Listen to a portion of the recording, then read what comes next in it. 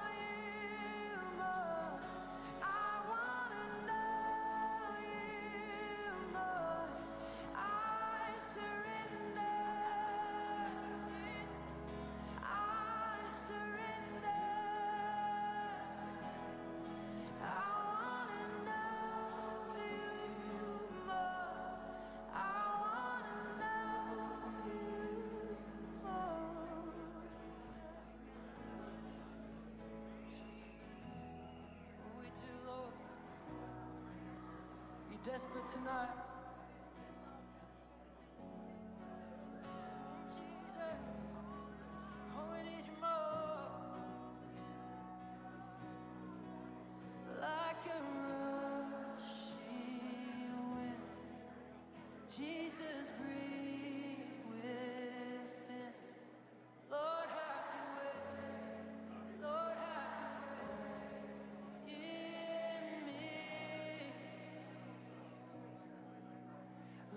Alamo.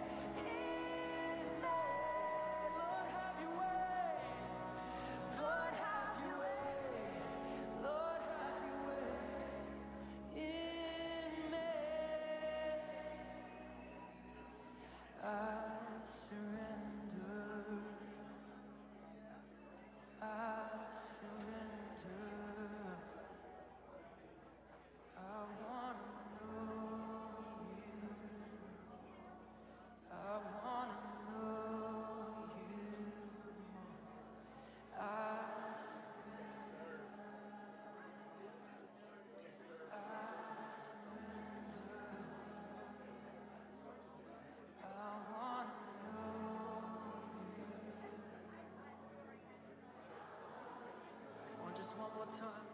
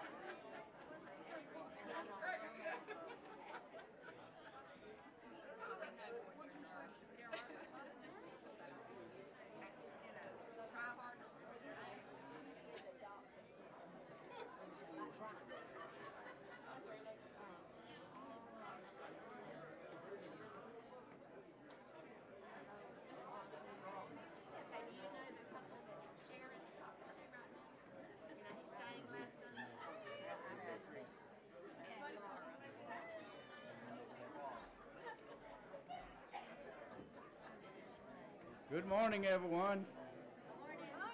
Seems as though everyone's having a good time.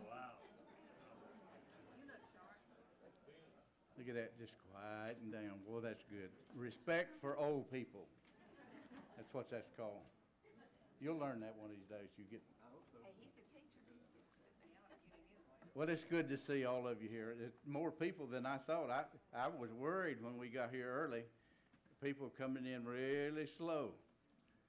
But we've got a good crowd today, preacher. They should be all rested up, though. Yeah, you got an extra hour there. That, that extra hour meant a lot. We'll be going home early today. It's good to see all of you. I hope you join in with the worship, do the, with the singing part, and with, uh, some of you don't have to sing, but most of you can sing. Uh, But preacher's gonna bring the word of God again, and he knows how to do that. Let's go to the Lord in prayer. Father God, how thankful we are today, Lord, to have the privilege to be in your house. Thank you, Lord, for everyone who has come this way, for the families. Lord, it's just awesome to have this privilege to be here to share together and to hear your word and, and to sing praises to your name. And for all that and so much more, we are thankful. Thank you for the activities that we have going on at the church. I pray, Lord, that we will uh, take every opportunity to be a part of all of them uh, and learn from them because they're all part of what you have us do here at this church. Thank you, Lord, for all that you do. In Christ's name we pray. Amen. You going to use your bulletin? I am not using my bulletin. I'm going to use last week's bulletin. A lot of people have asked about bulletins. Our computer systems were down this week, so we didn't get a chance to print those bulletins, so that's why we don't have one. Uh, but I'm going to read off of last week's uh, bulletin, and if I say something we've already done, then know it's last week's. Uh, our Veteran Day celebration is coming up this Thursday. That's at 11 o'clock. It's not just a church-wide, which is what it says. It's a church-wide, but it's also a community-wide. So we have these uh, invitations over here on the table when you leave today. If you know a veteran that would like to come, or you can invite them, just pick one up and give this to them. And uh, we're going to celebrate our veterans here in the Wiregrass this Thursday at 11 o'clock. Okay. Uh, also, we have an opportunity to serve our shoe- shoe boxes. If you were here Wednesday night, Miss Shannon said we hit about 350 shoe boxes that we packed on Wednesday night. Uh, but there's still empty shoe boxes over here as you get ready to exit. Uh, you can grab a shoe box, pack those up, and bring those back next Sunday. Uh, we'll have our, our shoebox march. Uh, remember, it's uh, ten. There's a ten dollar fee for shipping, so if you want to include that in there, you can do that as well. Uh, let's see. Sign, if you're going to our HBC Thanksgiving, uh, the sign up sheet is also over here on the side. You can sign up for that as well, and that's going to be out at the Braswell place. Uh, also, our uh, Bible studies are still going on on Tuesdays, 7:30 for the men, 10 o'clock for the women's, uh, and that's all as far as our announcements go. I think Miss Sharon has something she'd like to share. Miss Sharon, come on up. Yes, Sharon is Sharon. Thank you. Well, first of all, I just want to thank the Lord for what He did at the Fall Festival. He-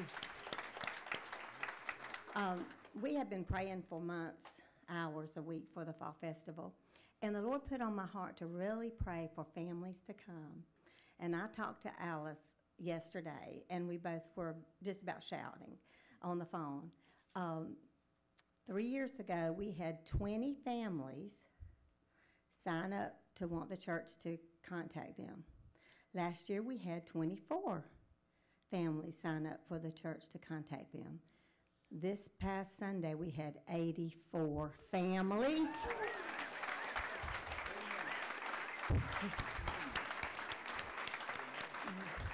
I tell you what, I am Pentecostal, but I won't shout. But I want to. Because y'all, the Lord just said certain things He wanted us to do this year, and we did it out of obedience to Him. And He is so faithful. And I want us to pray every day, y'all, that we're going to start seeing some of those 84 families. We're fixing to contact them. Come to church with these little children. I am ready. I had a little preschool class that I teach on Sunday mornings, and it didn't have any children this week. I had two last week and four. It's going to get full soon. We're just going to expect a miracle that God is going to show up, and He's already showed out this week. And I just want us to give Him a hand, and every one of you. Brother Buddy told me I couldn't take five minutes. I can only get two.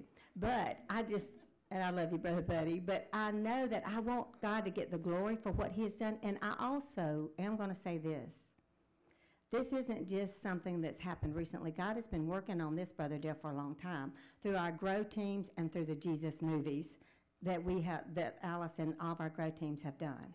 Because Alice told me yesterday, when she called me the second time, she said, Sharon, I just realized all these people live in those targeted areas that we have been serving and praying for for this year. It is a God thing. Thank you. Pray for me.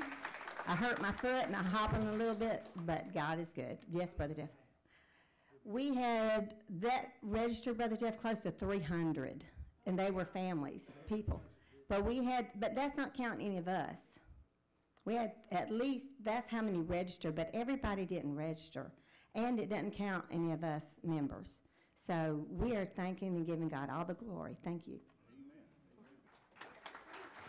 All right, we're going to have a time of fellowship. Looking around the room, I see a few honored guests in the room. Here at Heritage, we don't have visitors, we have honored guests. And we're honored that you chose to be here and worship with us. You could have chose anywhere else to worship, but you chose to be here with us, and we don't take that opportunity lightly. So we're glad that you're here. Uh, we don't have a bulletin to fill out this week, but if you come back next week, we'll have an opportunity for you to fill out some information so we can give you some information about us as well. So take just a few minutes to fellowship this morning. Make sure you seek out our honored guests, give them a handshake or neck hug, and tell them it's great to be in the house of the Lord.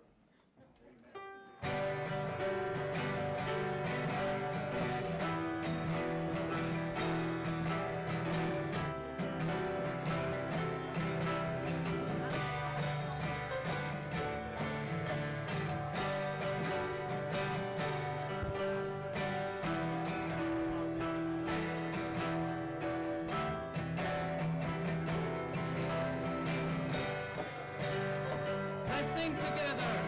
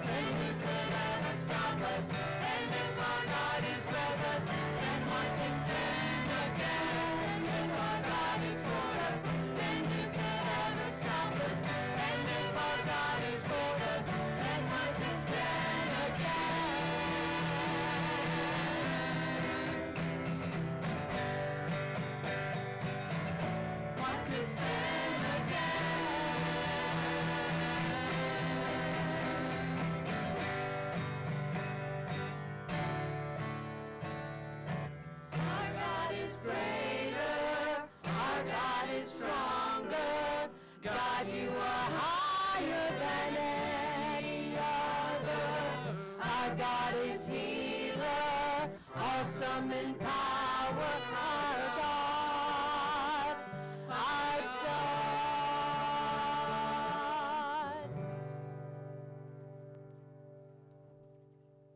Oh, we didn't have a bulletin to say who's praying today. He's coming.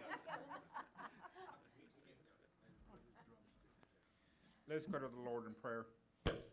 Our most gracious and heavenly Father, Lord, I thank you for this day and your many blessings. Thank you for bringing us to this place, dear Lord, to hear your word, dear Lord. Allow our word, the words that you have given to Brother Jeff, dear Lord, to penetrate our hearts, dear Lord, and actually do something with what we hear your word say to our hearts, dear Lord.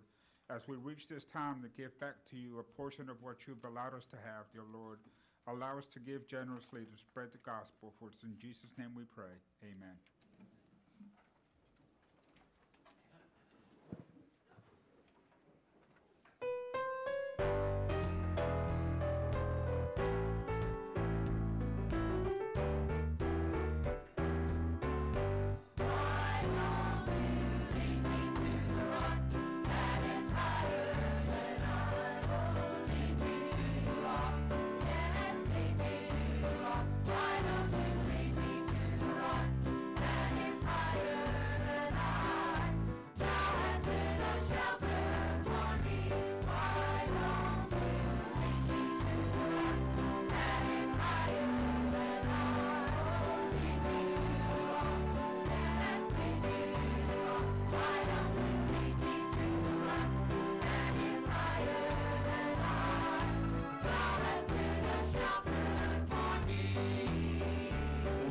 You go down in yonder fold and search among its sheep, thou hast been a shelter for me.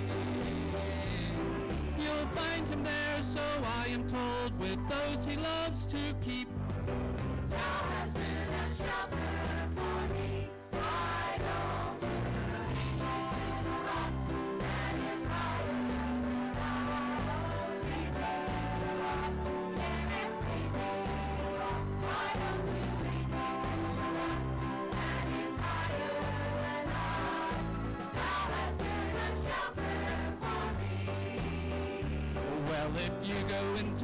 wilderness where dying ones are lost, thou hast been a shelter for me.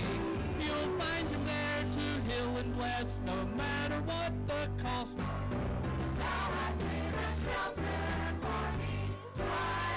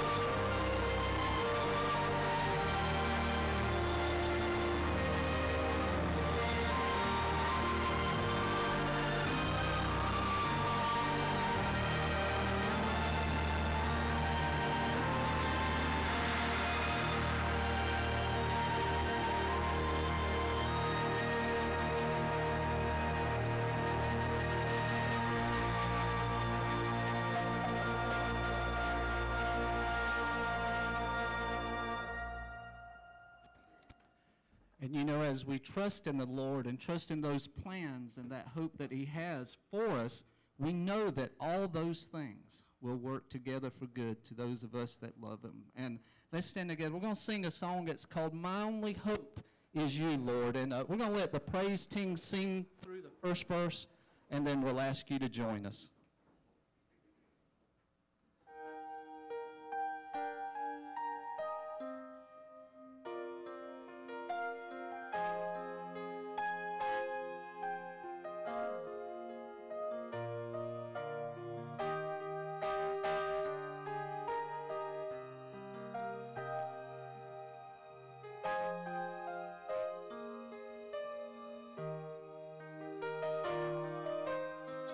team, my only hope. My only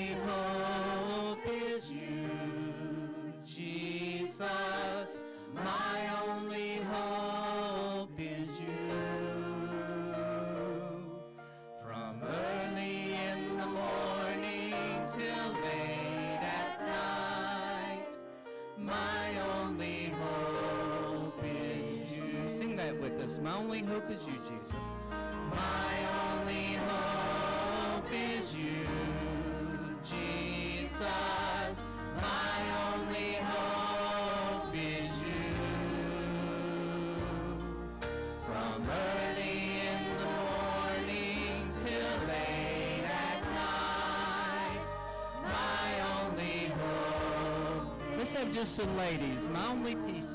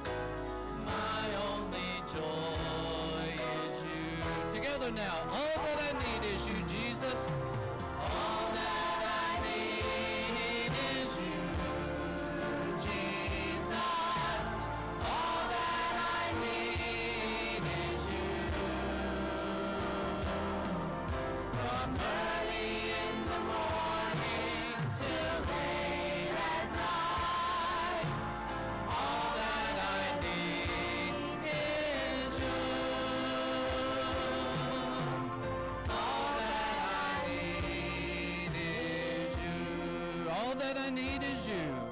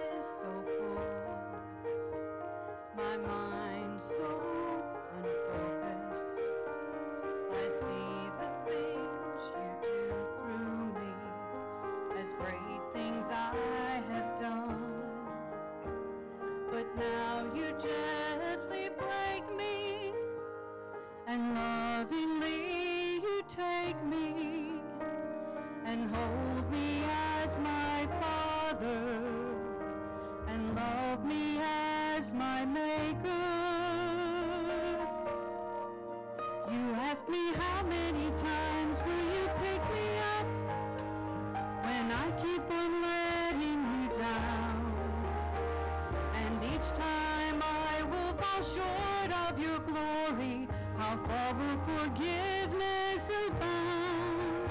And you answer me, child, I love you. And as long as you're seeking my face, you walk in the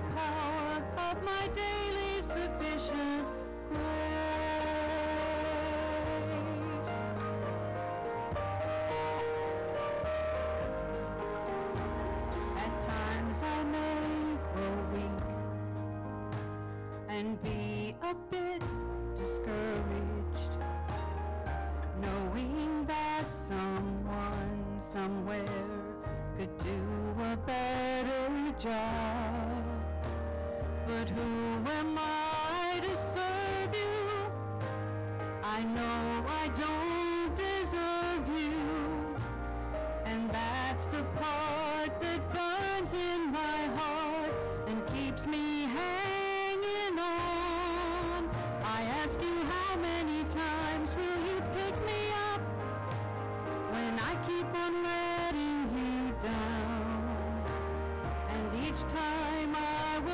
short of your glory, how long will forgiveness abound?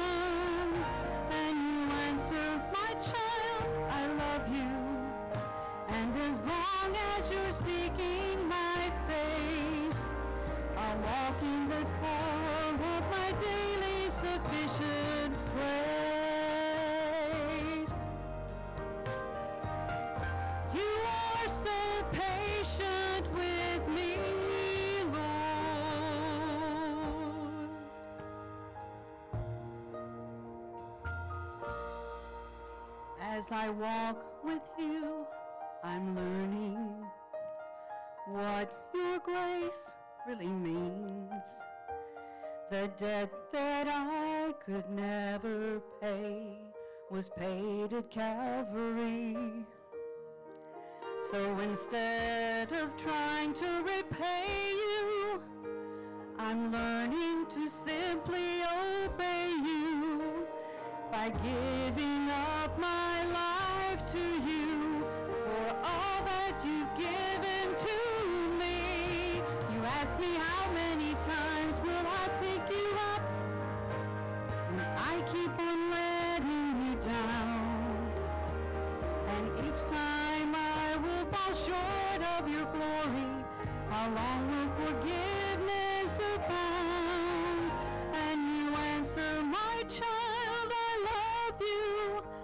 As long as you're seeking my face, this, the power of your holy sufficient grace.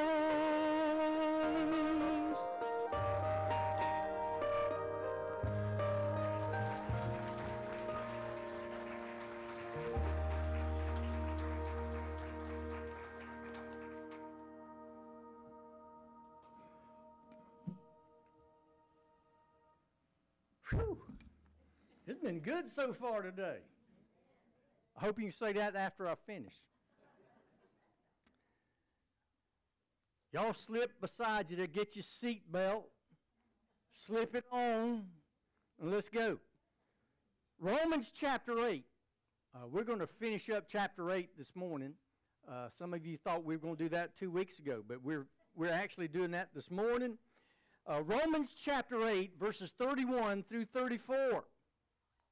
If you came in this morning and you're a little bit discouraged, you're down, and maybe this been a tough week, and you just need something encouraged, guess what? You're in the right place today because this is going to do it. Uh, this is it. Uh, this will encourage you today. Uh, I hope that you will walk out this morning with a smile on your face and a thankful heart for what God's done for us. Romans chapter 8, verse 31 through 34. And if you have found it and you're able to stand, let's stand together in honor and in reverence to reading God's Word.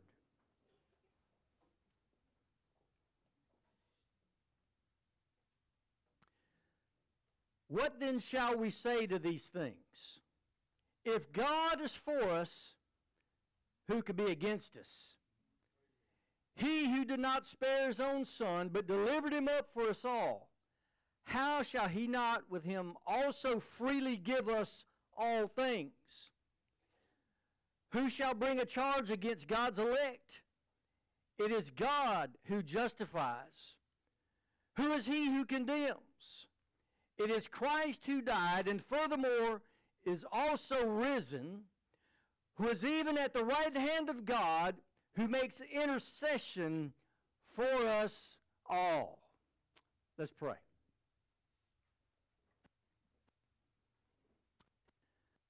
Our Father, today we again want to thank you for the shed blood of Jesus Christ that has made all the difference in our lives. That we can have a right relationship with you. That we can be forgiven of our sins. And that as we belong to you, that nothing is going to separate us from you. Father, I pray today, thanking you for these that are here and those that were unable to come for some reason this morning. But Father, we've come here to lift up the name of Jesus Christ. We've come here this morning to turn our mind's attention and our heart's affection to you because you are worthy. And Father, I pray that as we turn our attention to your written and spoken word in these next few moments, Father, I pray that you will speak to our hearts. May the Holy Spirit give us understanding to your word. And Father, may it not just stop within our minds, but may it also penetrate the deep places of our hearts. And Father, I pray again th- this morning that you will have your hand on my life today. Father, I pray that every word that comes from my lips have come from your heart. And Father, I pray that we're going to receive it, that we're going to make the application of it, that we're going to live it in our lives. And Father, I pray that when we leave this place this morning, when we go back to our homes, when we go back out into the community, when we go to the restaurant or wherever we go today, Father, I pray that we're going to be different people than when we came in this morning. And we pray and we ask this in Jesus' name. Amen.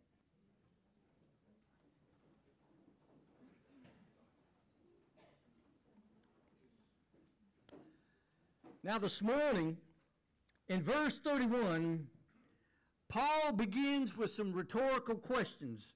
Uh, I didn't know what a rhetorical question was until I got into college. Uh, a rhetorical question is one that uh, you ask to yourself, pretty much. But Paul begins, he asks these four rhetorical questions, and listen, it is to, to, to drive home a point.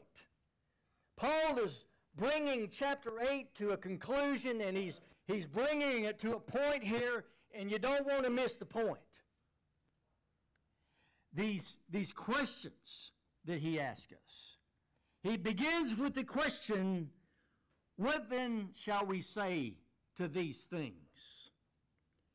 Well, let's look at these four questions this morning, and I think we'll grasp and understand what Paul's talking about. First of all, that I want you to see this morning is if God is for us, then who can be against us? Now let that sink in. If God is for you and me, then who can be against us? So, Paul asks, What then shall we say to these things? If God is for us, who can be against us? Now, I think it's important to read this question correctly. If Paul had only asked, Who can be against us? The answer would be a lot of people. There's a lot of people that could be against us. The answer is obviously that we have people that don't like us. We have people that are against us. They're against what we believe. They're against what we live for. But Paul's question is this He says, If God is for us, who could be against us?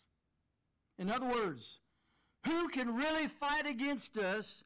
Who can defeat us if God is the one that's on our side? Now, when I was growing up, we used to play uh, sports. We had a vacant lot. Actually, there were probably two two lots together, but there was the two vacant lots there, and uh, we would play baseball. We would play football. We would play basketball at times uh, in the alley back there, and uh, in that uh, uh, place that was vacant there. And there was a, a large group. It was a good time to grow up as a kid. There was a large group of, of youth that were similar in age, and we played ball up there all the time. I mean, there was always a, a dust cloud over that those two lots right there, and um, so we were about the same age. But there was one young guy that was two years older than the rest of us. And uh, my brother, he's he'll be listening to this sometime this week. But uh, Kelly, you'll remember uh, Georgie Englehart. Uh, Georgie was about two years older than the rest of us, and at that age, those two years were pretty significant. Uh, most of us, we were still kind of clumsy. Our hand-eye coordination wasn't all that good yet. But Georgie was two years older. Uh, Georgie probably outweighed all of us by about 50 pounds. Uh, Georgie could run a whole lot faster than any of the rest of us. Uh, and plus, he was a pretty smart guy. And uh, when we would choose sides, you know, you have your two captains, and those two captains, they would be picking out of the people that are there uh, to see who's on the team. Now, once you got to the place where uh, you were the first one to pick that day, you know you had already won. Because the first one selected was going to be Georgie Englehart. Uh, Georgie was, he was a, a very good athlete, and like I said, he was bigger, faster, stronger than the rest of us, probably smarter too. But if you had Georgie on your team, it was almost a lock. Uh, unless Georgie got hurt or Georgie's mom stopped and picked him up to go to the dentist or something. Uh, you, you had the team that was going to win. And uh, when I think about that, you know, it was kind of an unmatched advantage. Uh, if you had Georgie, you had the team. Well, it's as if Paul is challenging us to place all of our enemies and, and put it on one half of a scale. An old fashioned balance scale. Kind of like if you're weighing some peanuts. Then we have all the peanuts assembled on the scale on one side, and it's as if you throw an anvil on the other side. And it immediately crushes the other side down, and you know what happens to all the peanuts. They, they, they'll go flying in the air. That side comes crashing down, and the peanuts are scattered. Again, Paul says there, if God is for us, peanuts on the scale, then who could be against us? Crash. No one can ever match the power of the creator of the universe. When Almighty God is on your side, there is no enemy that can stand against you and I. But here's the second rhetorical question Is there any chance that God will abandon us? Is there any chance that God will abandon us? No. There is no chance. You know, when, when I first married Aletha, um, y'all just don't know that every time I mention her name, it, it costs me, okay? I've, I've got a big tab. I've not paid up on that in quite a long time. If y'all don't know who my wife is, she's the one in the purple that's turning red at this moment. That just cost me even more right then. But when we first got married, I used to worry about, you know, that Aletha would somehow over time, she's going to find out the real me and she's not going to like the real me. Now, she probably is. She might have amen that. I thought, you know, she might find somebody better than me, and, and I thought she might leave me. And, you know, I had a plan that if she left me, I was packing, I was going with her. but there's a sense in which we often feel that same way about our relationship with Christ. We make a commitment to Him and then become afraid that somehow, in the time after, that somehow God's going to leave us. He's going to leave us on our own, and somehow we're not going to be able to survive on our own. Well, Paul argues the greater to the lesser. He says, He who did not spare his own son, but delivered him up for us all, how shall he not with him also freely give us all things? Now, there's two parts to this argument, okay? First of all, God has already given us the greatest gift that He can give us. The greatest gift that we can ever be given. God has already invested heavily in us by giving us His Son. Paul said, God did not spare His own Son. He could have spared His Son. He could have called down a host of angels. God's love for me and you is deeper than any that we've ever known or we've ever experienced. God, I want you to know, is deeply committed to you and me. Deeply committed to us. He has met our greatest need. Some of you came in today and you thought your greatest need was to be able to pay your power bill or to make your mortgage payment or to make your car payment or, or to take out a loan to buy your gas. But uh, you, you might have thought that your greatest need might have been those things. But listen, our greatest need is salvation. That's it. To have salvation. Listen, I can't conceive of a love that could lead me to give up one of my children for any of you. Let's just be honest. That's, that's hard for me to fathom that. To know that God didn't even spare his son for you and me. God's love for us is so much deeper than we recognize and understand. And he's met our greatest need, and that is salvation and to have a new life. And he did that with great personal cost. He gave his son for every one of us.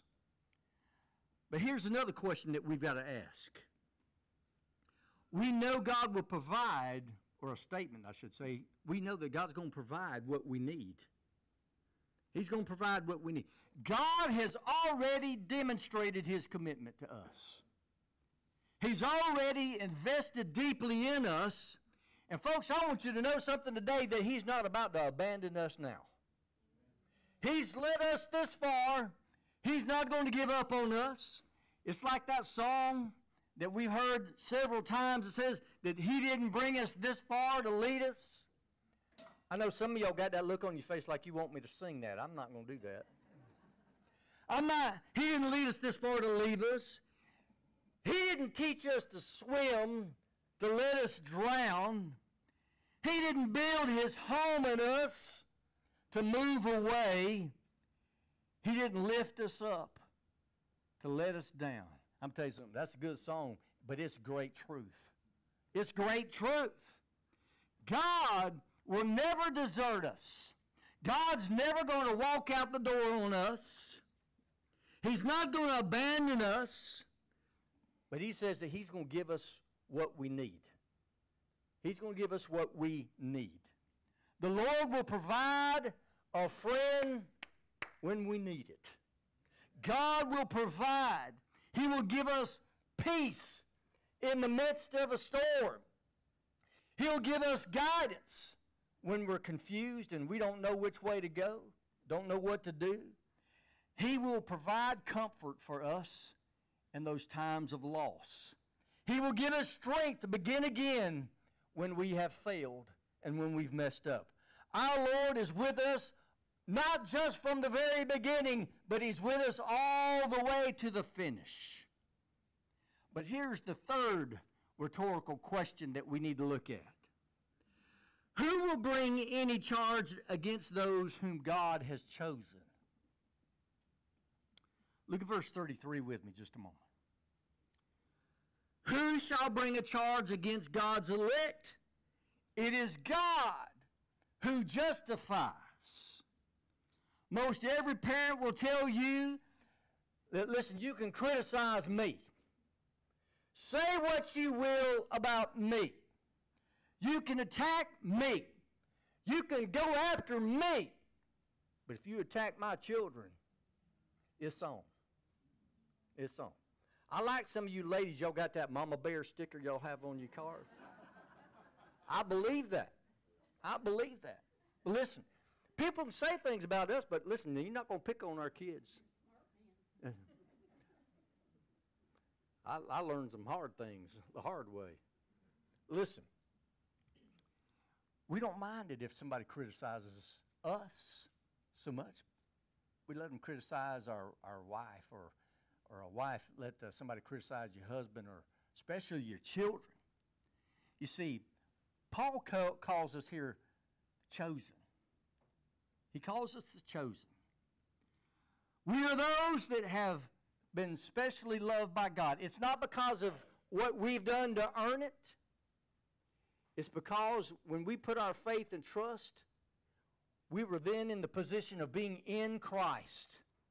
And because we are in Christ, we are His chosen. Now, I want you to notice three things about this. There's going to be charges that are made against us. If you live long enough in your life, you're going to have somebody that's going to have charges against us. Uh, have you found out that people will criticize you? They will. They'll criticize you. You didn't pick out the color carpet we wanted. You, you didn't you didn't pick out the kind of pews that we wanted, and some of you might wanted chairs. And but you know sometimes people they'll criticize. They'll criticize all kinds of different things. People will that are narrow-minded. Uh, some are judgmental. Uh, others will call us hypocrites, and they'll call us phonies. And there will be those who will, who tell us that we're wrong in our beliefs.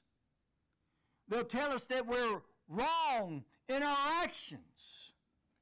But I don't want you to forget something here today. Don't ever forget that, listen, that Satan is the accuser. He's going to use people to do his work. And there are times that you're going to be accused of things. He will be quick to point out our sins. He'll be quick to point out our, our struggles. You know, Satan frequently attacks God's children. You say, well, he's not been attacking me. You say, well, you might not just be living for him like you should. I promise you, if you're living for the Lord, if you're sold out to the Lord Jesus Christ, then listen, he's going to come after you. He's going to attack you. How could someone who loves Jesus act that way? But here's the second thing many of the charges that people have against us, some of them are going to be true. Some of them will be true. Some of the things Satan will say about us are actually true. Some of the things others say about us are going to be true. But the verdict is already in. The verdict is already in. God has declared us not guilty. I say this sometimes jokingly, but listen, if I'd have said that in a Pentecostal church, they would have had a foaming mouth fit. God has declared you and me not guilty. If Jesus is legit, then God must have quit. Jesus is legit. And because of what Jesus did for us, you and I, we've been acquitted. Even though we're guilty. Even though we're guilty of doing the things that sometimes Satan accuses us of. The word he uses here is that word charge. Right there. You see that? It means to make a formal accusation in a, in a court setting, to, to press charges. And what Paul is saying is who can make a, a charge against us and make it stick. That's what Paul's saying there. In our country, once the court has set you free, you can't be charged of that crime again. It's called double jeopardy. According to God's justice, you and I, we who are in Christ, we're as guilty, but now we're unpunishable. Why? Why is that? Not because of, of some legal technicality. Rather, it's because uh, any and every sin that we've ever committed or will commit has been fully prosecuted in Christ on the cross. And once is all the law demands. That's all it ever demands. There are still consequences to the things that we do when we do wrong, even as believers. But as far as the penalty of the law is concerned, listen, Jesus' death, it places us in a wonderful position of being exempt from eternal punishment. Do we fail? Absolutely, we do. Do we mess up regularly? Do we fall short of His glory on a regular basis? Do we miss the mark? Yes.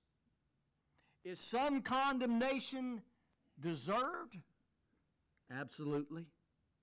Are there times when our relationship with God will be stained because of our sin? Yes. Can these invalidate our salvation? Never. It can never invalidate our salvation. Our sin, it's been paid for. God has already declared us not guilty. But here's the final question, rhetorical question. Who is he who condemns? Who is he who condemns? Just in case we didn't get the point, Paul asked his fourth question there in verse 34. He says, Who is he who condemns? It is Christ who died and furthermore is also risen, who is even at the right hand of God, who also makes intercession for us. So, Paul gives us several reasons why nobody can condemn us. You want to hear what they are? Y'all give me that look like you want to know. Do you want to know why? First of all, it's because Jesus died for our sin. Listen, He didn't miss it, He didn't mess up, He didn't do it halfway. He said that it is finished, which means that everything that was necessary for our salvation, it was done. But here's something else. He rose to prove that this payment that it was sufficient. It was sufficient. It was acceptable to God.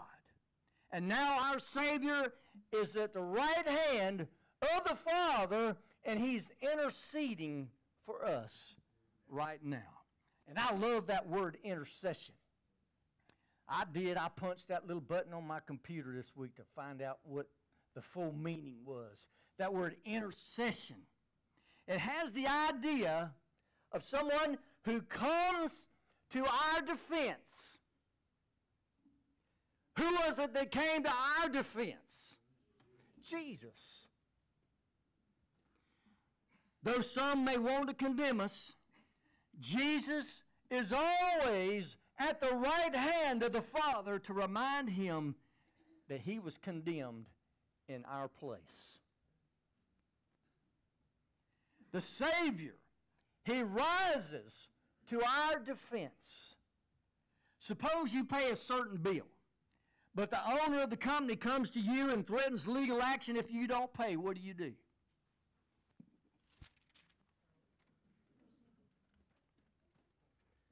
I went to Office Depot this week, and I, I bought my yearly calendar for the next year. Let's just suppose that I went in and, and, and I got my little calendar and I'm making it out to my truck to get back in to come to the church, and somebody rushes out there and says, Hold up just a moment. You can't walk out with that calendar. You didn't pay for it. The authorities are on their way. You just stay right where you are.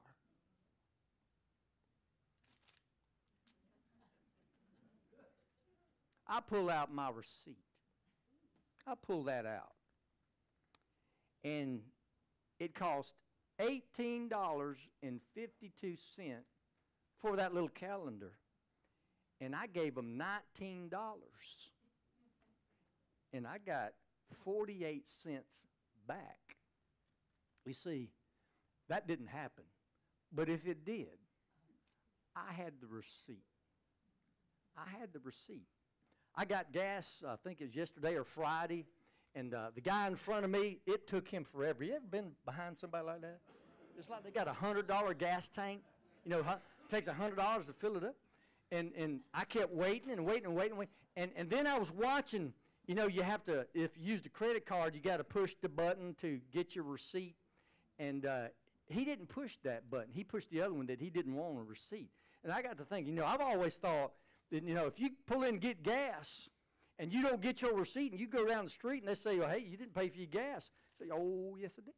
You see, having a receipt is so important. You produce the receipt or you produce a, a canceled check to show that you've indeed paid the bill. Listen, that receipt, it settles it, doesn't it? In a sense, every time someone makes a charge against us, Jesus produces the receipt. He paid the debt on our behalf, He paid it in full. Our Savior defends us from those that condemn us. And as we think about these four questions, there's just a real couple of uh, quick things that I need to add. I know y'all looking, y'all, see my clock, it says 1126. I can get them in just a second or two, okay? First of all, I think it's important that we remember that these promises, they're only for believers. Only for believers. These affirmations are not for just people that go to church. They're not for people who try to be good or who are well respected. These affirmations are only for believers, for those that have put their faith and trust in Christ.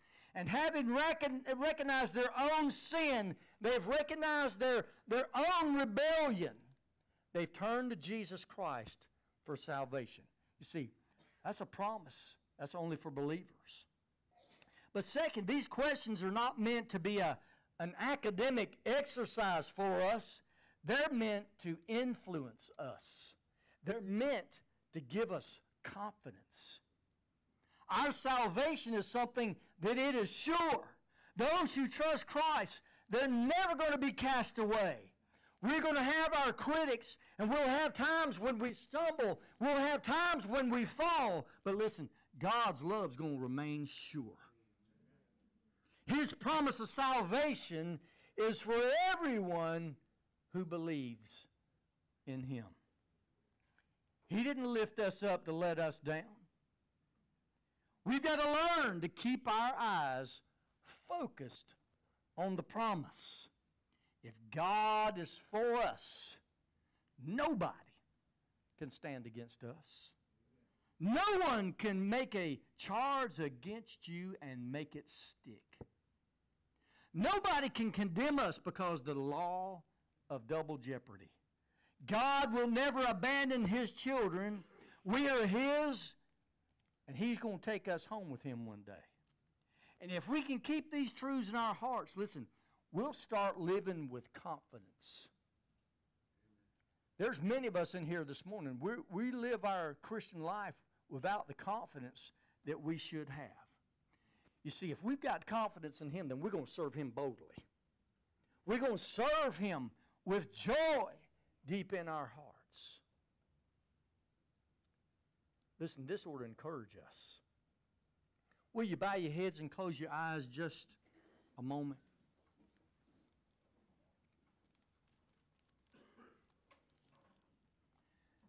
This morning, if you've never put your faith and trust in Jesus Christ, then you're not going to have that confidence. And you're not going to have these truths be true in your life. Jesus is the way. There's no other way. Jesus said that no man cometh unto the Father but by me. You can't go any other way.